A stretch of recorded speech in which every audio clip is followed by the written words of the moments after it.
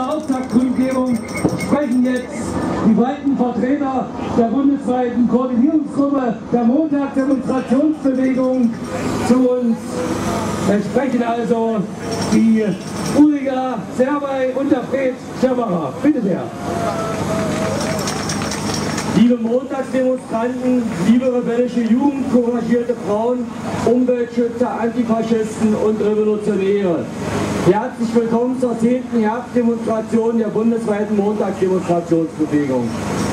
Wenige Kilometer von hier finden die Koalitionsverhandlungen zur neuen Bundesregierung statt, die sich offensichtlich schwierig gestalten. Doch das soll nicht unser Problem sein. Offensichtlich hat sich noch keiner getraut, es mit uns und dem Widerstand auf der Straße aufzunehmen. Immerhin haben wir schon drei Bundesregierungen überlebt. Jetzt auch die FDP.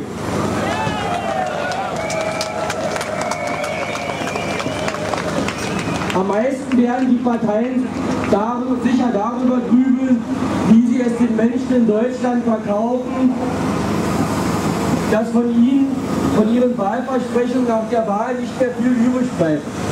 Wir auf jeden Fall erklären der neuen Bundesregierung von hier aus, mit uns habt ihr weiterhin zu rechnen. Wir kämpfen für eine lebenswerte Zukunft für uns und unsere Kinder und gehen auf die Straße, bis die Hartz-IV-Gesetze vom Tisch sind.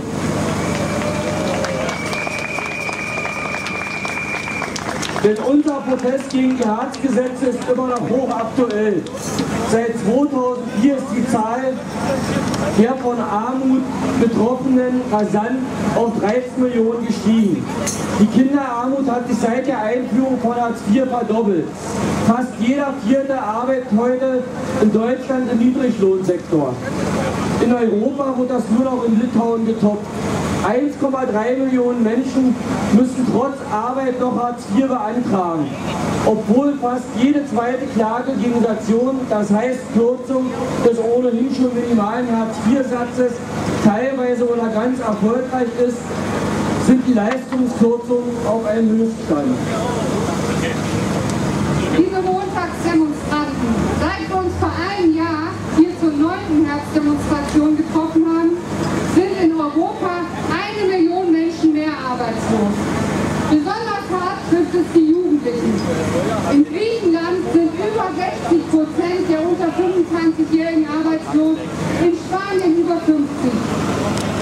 43 Millionen Menschen in Europa können sich nicht mehr alleine ernähren, sind auf Suppenküchen und Lebensmittelspenden angewiesen.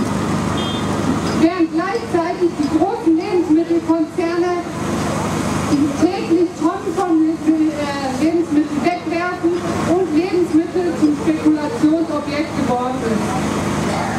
Mit einem europaweit koordinierten Krisenprogramm werden Monopolen und Großbanken Zugeschoben und die Folgen der Weltwirtschafts- und Finanzkrise auf die Bevölkerung abgewälzt.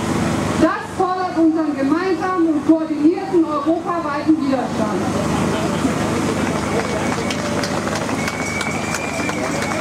So wütend wir darüber sind, dass die immer mehr Menschen in Deutschland in Armut gedrängt werden, so stolz sind wir auch über die Ausdauer und Konsequenz unserer Bewegung.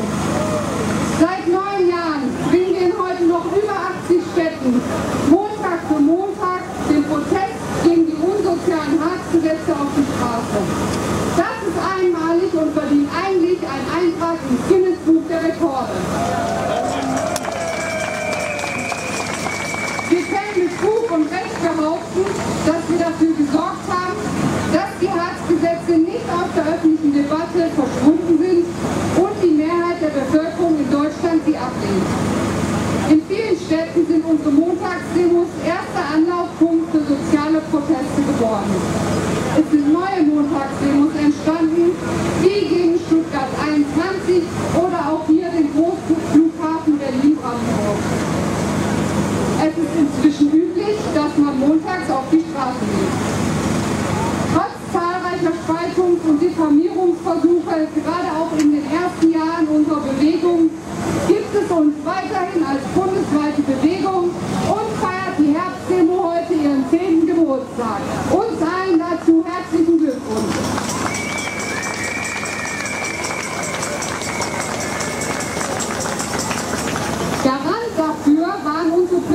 Prinzipien, an denen wir immer festgehalten haben.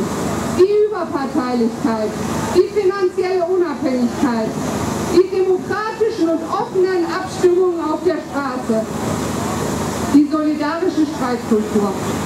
Das offene Mikrofon ist unser besonderes Markenzeichen und es darf natürlich auch heute nicht fehlen. Es findet während der Demonstration hier auf dem LKW statt und ihr könnt euch alle dort gerne melden. Auf unserer 10. Herbstdemonstration nur einen Schluss ziehen. Unsere Bewegung muss weitergehen. Sie muss sich höher entwickeln, quantitativ und qualitativ und daran arbeiten wir beharrlich. Wir sind sicher, unsere Zeit als Massenbewegung wird wieder kommen und wir sind gut darauf eingestellt. Wir wünschen uns allen eine erfolgreiche, kämpferische und optimistische Herbstdemonstration, die jetzt beginnt.